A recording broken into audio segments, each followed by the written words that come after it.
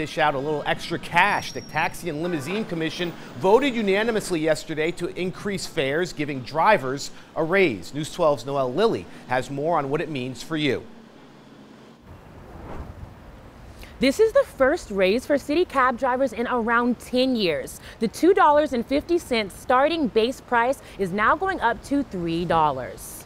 Hailing a cab to the airport will also cost you a bit more now. The flat fare for a trip to JFK Airport will cost 18 bucks more, and to get to or from LaGuardia, there will be a new surcharge of around $5. At a commission meeting this week, officials said that cab rides have been on the decline over the last 10 years, and they were hit especially hard by the COVID-19 pandemic.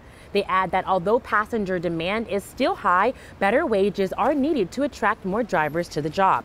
We spoke to Bronxites at a taxi stand in Pelham Bay to find out if these new prices will affect how they get around NYC. I wouldn't want my daughter to take the train anywhere because it's unfortunate, but every other day we're hearing something going on the train. So we result to taking the bus, taking a, a, cab, taking an Uber, um, and the fares are just going up. Our wages have not gone up, but everything else has gone up. And drivers for rideshare apps like Lyft or Uber will also be getting a raise of more than 7% per minute. These new changes are expected to go into effect by the end of this year. In Pelham Bay, Noel Lilly, News 12.